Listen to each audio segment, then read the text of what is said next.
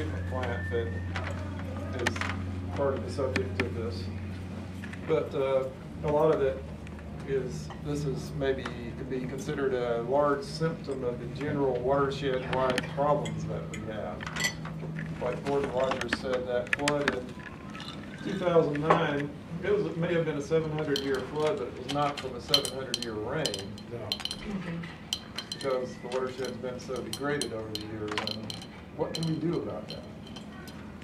Well, that's a good place where it leads us back to where we started, and that's a watershed basin study, a drainage basin study performed via Army Corps Engineers.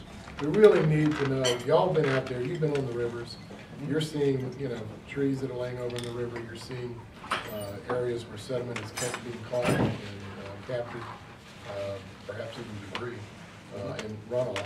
The, um, we really need a total picture of what, the- what the health of our drainage basin. And until we really get that picture, we can all, you know, talk about what needs to be done, but we don't really know what needs to be done. So what's being